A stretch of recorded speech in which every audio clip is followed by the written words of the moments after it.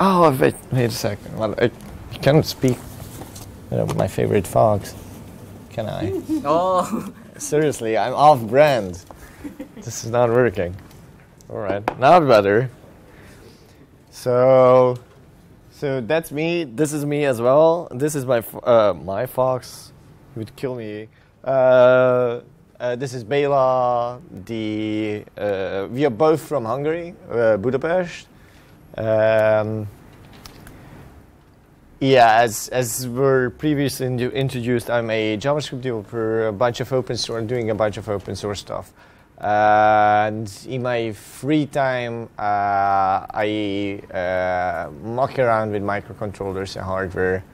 No, not as much as some of some of you folks, but but you know, just casually.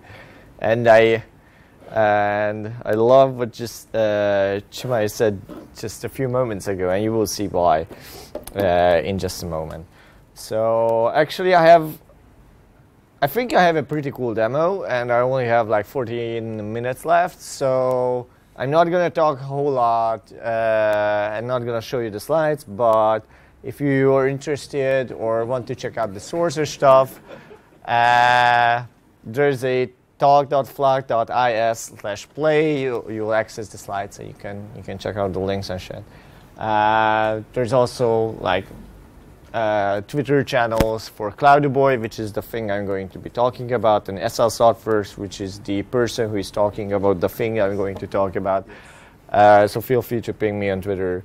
and uh, like I uh, was announced, uh, I'm going to be talking about putting JavaScript uh, and games onto microcontrollers. And to, to get a grasp of what I'm going to be talking about, whoever, like we have been talking about uh, Kickstarter today, so whoever, whoever knows what these things are. Who's seen these uh, ever?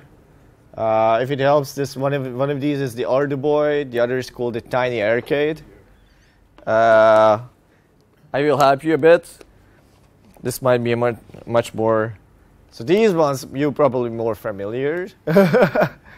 so basically, what happens here is this is just this, except a nicer um, polycarbonate housing. Uh, the Arduino is basically a Arduino, uh, Arduino Micro uh, packaged up with a screen and a few buttons, and that's cool, right? Uh, you can you can uh, you can just order the parts, create it, like put a buzzer on it, a few buttons, uh, wire it up, and it will, you know, it will just work. And let's see if this works. Now I'm just plugging it in for power. Ta-da! I'm gonna show you this a bit later. So, and then you got a game on there, right?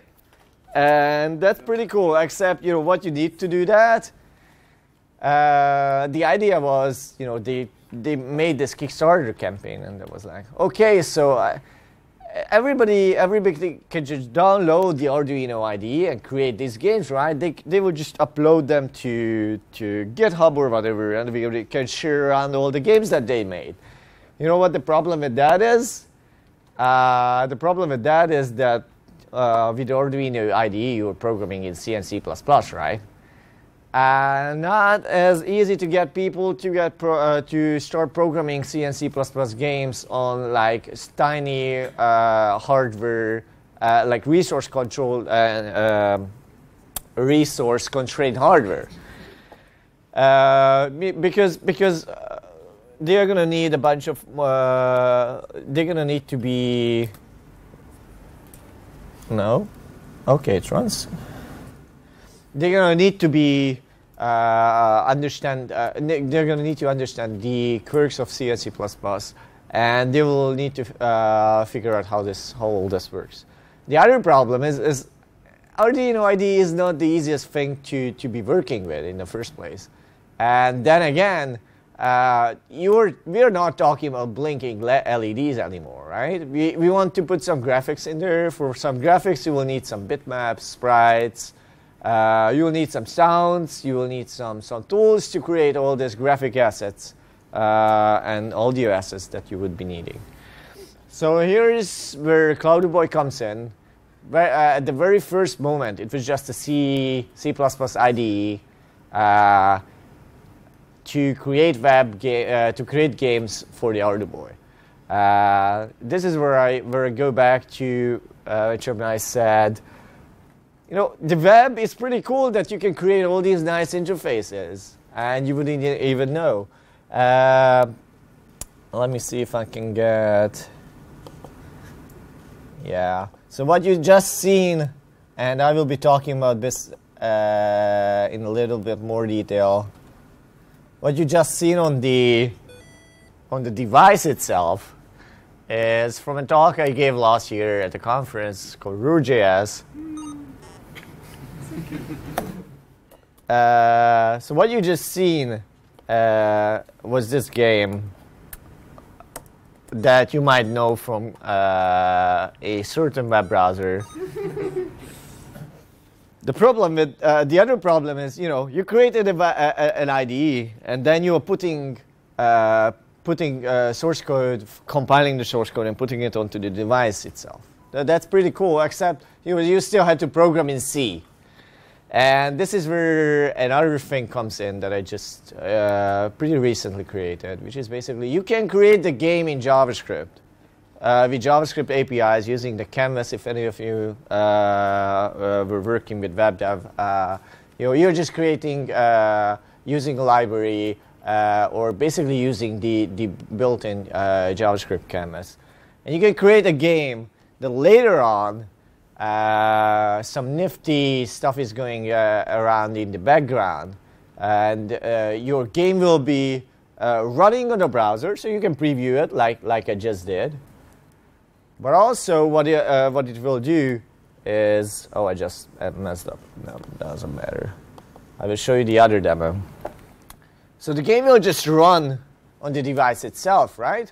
Uh, on, on, the, on, the, on the browser itself. You don't have to, you know, when you're developing for microcontroller hardware, you would be, you know, make some code, compile it, flash it, wait until it flashes, try it out. Oh shit, it, uh, I screwed up a variable declaration or something, you know, debug, uh, stuff like this. Now you can just do this on your laptop uh, in, in, uh, uh, in JavaScript. And at the end, when it works, actually just compile it to the device and put it onto the device. So to see that I'm not talking shit here, let me see, camera. So, hello. There we are. So I'm just gonna plug this in. So now it runs uh, the Dino game, but what I'm gonna do is I'm gonna say, hey, you see, so on the left side, left hand side, you will see a JavaScript code basically. It is 100 lines of code. The whole game that you're, uh, you're seeing here is basically 100 lines of JavaScript. Pretty straightforward. You know, you can shoot around aliens, uh, space invaders. Uh, it's, it's one of the classics. Uh, what you see is 100 lines of JavaScript code. When I press this button on the top left, what it does, it compiles actually, uh, it translates basically into C code you know, some things work, some things don't work. Like we don't want to uh, create platform parity. There are a bunch of things you don't want to replicate the whole of JavaScript in C. Right? That's not the point here. Uh, uh, you don't want to, you know, all the quirks and, and edge cases of JavaScript. You don't want to replicate them in C. Uh, but most stuff works, and uh, like the basics work. So what you will see here is when it compiles the code into C, I can just uh, uh, press the flash button and you will see the alright there you go. It's already flashing. And ta-da! And I unable to play with but it works basically. And again I'm, I'm I, uh, I'm referring back to Chairman's talk uh, because, okay, so this device is basically connected by a serial port. How do you flash it, right? Uh, so currently, uh, I also have a daemon, which is basically very similar to, to what the folks uh, over there use. you install the daemon in your local device. Uh, on the cloud, your code is compiled. You just use a website as an editor or a local, like uh, here I'm looking, uh, I'm running a local version just for demo's sake and to ease up on demo gods. But you could be running this whole thing from a web page, from a web browser, and just using a local daemon to flash your devices. Uh, for some other devices like this one, uh, which is totally empty like no battery wise, which is not useful. Uh, so with the Tiny Arcade, you actually get a micro SD card. So what you can do is basically you create your code, you do you hit compile, you're downloaded, you're offered to download a hex file, or basically a bin file, uh, which is basically the firmware. You just copy that firmware, like download the firmware, copy it into the onto the SD card, hook it up to the device, and it just works. Uh, you don't even need any flashing or any actual hardware or daemons to run. Uh, uh, uh somebody showed the BBC microbit. The BBC microbit, uh, you can just flash from your Android device uh, because it just works over Bluetooth. Um, and you know, there, there's just one thing that you get this very easy flow. You know, people can create games uh, and debug games and, and, share it onto microcontrollers. The other nice thing about this is actually uh, you yourself can play this because this is just the web, right? This is just a web page. So if you hit, let me see if I can find a link. No, there you go. If you go on your mobile phone or your laptop and hit cld.bi slash ruhrjs, you can play the exact same game, right? because it's not just made for a microcontroller. It is made for the web, so it will work on your mobile phone. It will work on your laptop computer. You can share your games with friends. Uh, you know, have them play it if they don't have a device either. Uh, the other interesting and nice thing about this is just one more uh, bit that is pretty cool. So, okay, uh, for example, okay, I don't care about JavaScript, right? I, I know C, you would say. I, I can create games, right?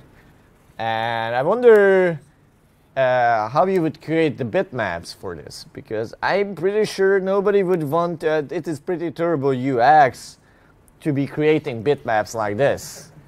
Right, this is basically, uh, you know, every byte uh, is like 8 pixels, a colon of 8 pixels. Every, every bit you set is basically going to be a, a pixel representing the final image.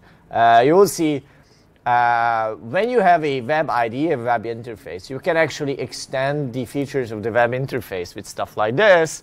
So uh, this is great for learning, for example, because now you know what kind of stuff, like uh, I'm going to rewrite this to FF, and you will see it change. Uh, but it's not just interesting because of that, because at the end of the day, you'll get this image, right?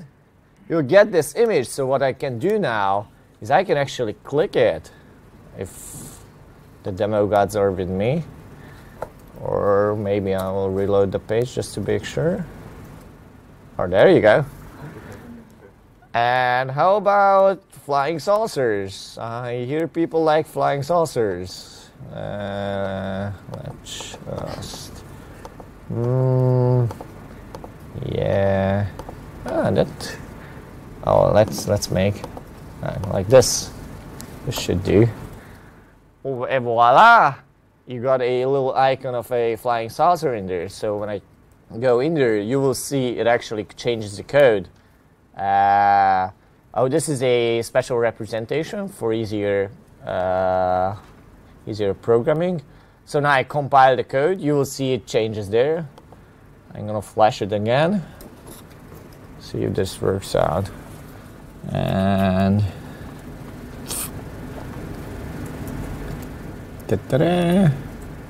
you don't see a thing, but here is to be easier. There you go.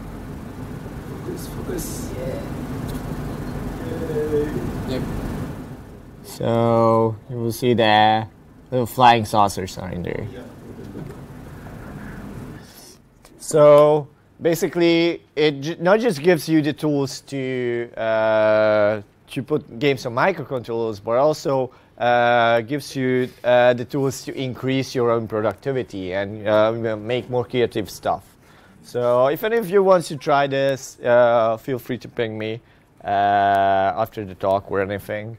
And you can fly the slides on that link. And thank you for listening.